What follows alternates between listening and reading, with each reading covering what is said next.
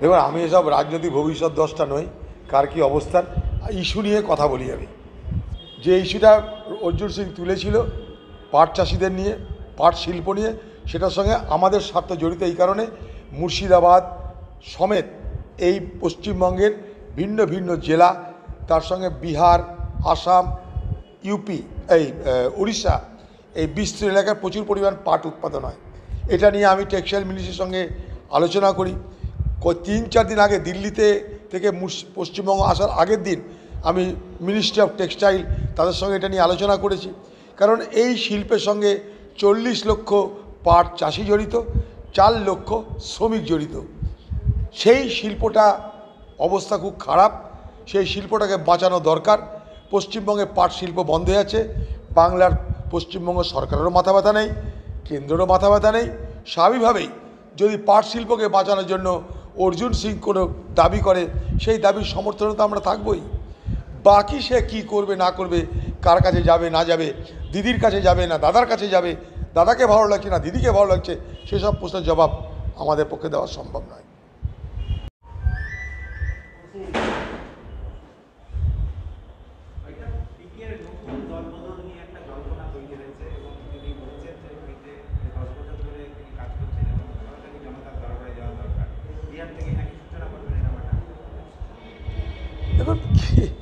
পিকেকে নিয়ে প্রয়োজনের থেকে বেশি আলোচনা হচ্ছে, আওয়াজ উঠছে এটুকু বলতে পারি।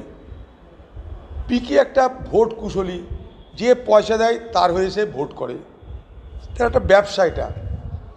যেমন বাজারে আলু পটল বিক্রি হয়, কাপড় জামা বিক্রি হয়, মোটরসাইকেল, সাইকেল বিক্রি হয়, তারপর সে ভোটের পণ্য বিক্রয় করে। ইলেকট্রাল প্রোডাক্টসে বিক্রি করে। সে একজন বিক্রেতা, ভোটের বাজারের, ভোটের পণ্যের বিক্রেতা। এখন যেমন ঈদের মৌসুম, ঈদের মৌসুমে সামাই বিক্রি হবে, ঈদের মৌসুমে ফল বিক্রি হবে, ইফতারের আগে ভাজাভুজি বিক্রি হবে। যখন যার সময়, ভোটের মরশুমে তাকে, তার দেখা পাওয়া যাবে। সে ভোটের পণ্য নিয়ে এসে হাজির হবে। সেই পণ্য কেউ কিনছে কেউ কিনছে না। বাংলার মুখ্যমন্ত্রী কোটি কোটি টাকা দিয়ে সেই পণ্য কিনল, কে জিতলো জানি না। আমি তো বিশ্বাস করি বাংলার মুখ্যমন্ত্রী এবং তৃণমূল জিতেছে। দিদি দলের লোকরা বিশ্বাস করে, না, দিদি একা পারতো না। ভোট কুশলী প্রশান্ত জিতিয়েছে। এই তো চলছে বাজারে। তো সে এখন কি করবে, তা নিয়ে আমাদের কিসের জন্য মাথা ব্যথা করা দরকার, আমার জানা নাই।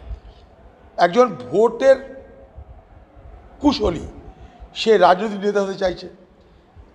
রাজনৈতিক নেতা হওয়ার ইচ্ছা সকলের থাকে। যে কেউ রাজনৈতিক দল করতে পারে, তার মনে হলে সেও করতে পারে। কত ধানে, কত চাল দেখে যাক, ভোট কুশলী।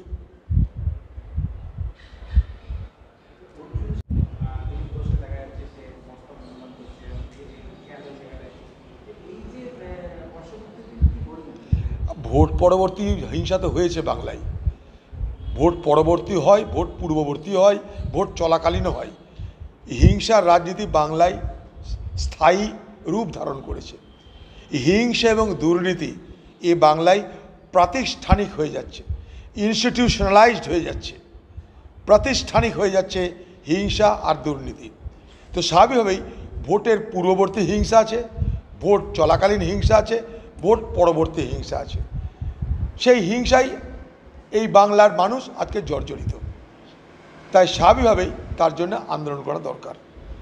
কিন্তু খারাপ লাগে যে দিদির সঙ্গে মোদির কলকাতায় কুস্তি আর দিল্লিতে দোস্তি, এইটা দেখতে একটু বেখাপ্পা লাগে বেশ বেসুরো লাগে। তো বিজেপি যারা নেতা, তাদেরকে বলব বা এত আন্দোলন, এত মারামারি, এত অত্যাচার, দিল্লির নেতাদেরকে দেখতে পেলাম না কেন আমরা? দিল্লি থেকে কোনো প্রতিবাদ হয় না কেন? পার্লামেন্টের মধ্যে বাংলার এমপিরা একা একাই চিৎকার করে, কেউ তাদের সাথ দেয় না। এমনই বিজেপির দলের অবস্থা।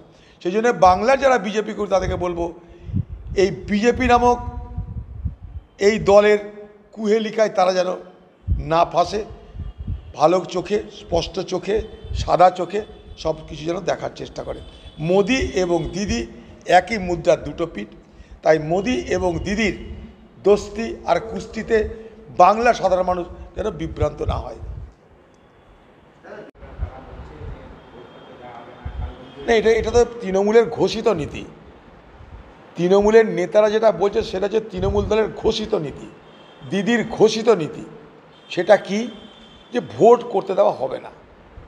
ভোট না করে জিতে যাওয়ার নাম তৃণমূল সরকার। ভোট না করে জিতে যাওয়ার প্রক্রিয়া ষষ্ঠা এ বাংলায় তৃণমূল এবং তার নেত্রী মমতা ব্যানার্জি। তাই এ বাংলায় আমি আগেও বলেছি, দুটো ইলেকশন হবার সম্ভাবনা আছে। বাকি দুটো সিলেকশন হবে। পঞ্চায়েত আর মিউনিসিপ্যালিটি এখানে সিলেকশন কে কে ক্যান্ডিডেট হবে তার জন্য টেন্ডার হবে। ক্যান্ডিডেট হওয়ার জন্য প্রচুর পরিমাণ টাকা জমা পড়বে। টেন্ডারে যে এল ওয়ান হবে, যে সব থেকে বেশি টাকা দিতে পারবে, তার নামে টিকিট বরাদ্দ হবে। জিতানোর দায়িত্ব সরকারের। জিতানোর দায়িত্ব পুলিশের। জিতানোর দায়িত্ব তৃণমূলের। পয়সা দেওয়ার দায়িত্ব ক্যান্ডিডেটের জিতানোর দায়িত্ব তৃণমূলের। পাঁচ বছর ধরে মেরে খাবার সময় ভাগাভাগি দিদি ঠিক করে দিয়েছে পঁচাত্তর পঁচিশ।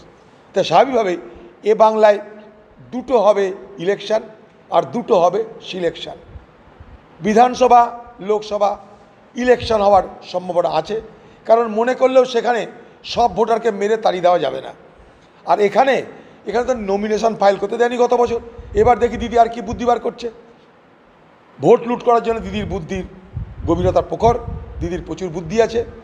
তিনি দরকার তার নতুন নতুন কুশলীদের কাছ থেকে তার বুদ্ধি নিতে পারেন তার মধ্যে তাদের দলের নেতারা বলতে আরম্ভ করছেন, ভোট হবে না।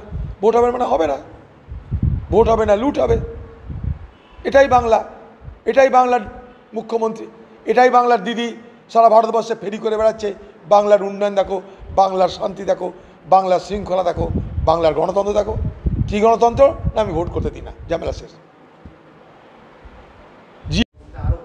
জাত অবস্থা জাত অবস্থা। কারণ এই যে গরম পড়েছে, তাপদাহ চলছে হিট ওয়েভ চলছে সারা ভারতবর্ষ জুড়ে, এ থামার কোনো লক্ষণ নেই। ফলে বিদ্যুতের চাহিদা দিনের পর দিন তড়িৎ গতিতে বাড়ছে, লাফিয়ে লাফিয়ে বাড়ছে।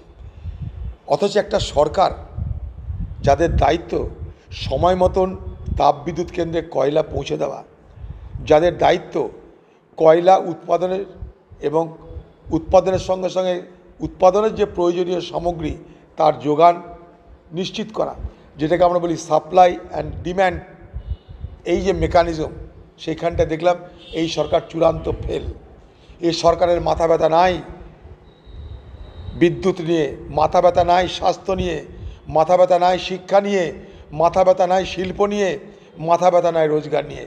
এ সরকারের মাথা ব্যথা ভারতবর্ষের সাম্প্রদায়িক রাজনীতিকরণ নিয়ে। তাই বাকি অংশে আজ গুরুত্ব দেওয়া হয় না। বাকি অংশে আজ নজর দেওয়া হয় না। বুলডোজার বাবারা রাজ্যে রাজ্যে মাথা তুলে দেখাতে চাইছে রাজ্যের উন্নয়ন। এটা কি রাজ্যের উন্নয়ন? বুলডোজার বাবাদের জিজ্ঞেস করব। যে বুলডোজার বাবারা অকারণে মানুষের আইন না মেনে মানুষের ঘর ভাঙার পরিবর্তে সেই বুলডোজারগুলো নিয়ে কয়লা লিয়াই তোরা। কয়লা নিয়ে এসে তাপবিদ্যুৎ কেন্দ্রগুলোতে তোমার দেওয়ার ব্যবস্থা করো। আজকে ভারতবর্ষের সরকারের ব্যর্থতাটা কোথায়? মানুষের প্যাসেঞ্জার ট্রেন সব বন্ধ করে দিচ্ছে। সাড়ে ছশোর উপরে প্যাসেঞ্জার ট্রেন যাত্রী যে পরিবহনের যে ট্রেন বন্ধ করে সেখানে কয়লা আনতে হচ্ছে। কেন? কেন? তার কারণ এই সরকার সামনে কি করবে তা জানে না। আজকে সারা ভারতবর্ষের বিদ্যুৎ সংকটের জন্য একমাত্র ভারত সরকারের অকর্মণ্যতা দায়ী, তাদের অদক্ষতা যা দায়ী, তাদের অপরিণামদর্শিতা দায়ী, তারা কিছু মাথা ঘামায় না মানুষের জন্য। তাই যেমন এই ভারতবর্ষে কোভিড নিয়ে মানুষের সমস্যা হয়, একইভাবে আজ কয়লা সরবরাহ নিয়ে একই সমস্যা তৈরি হয়েছে।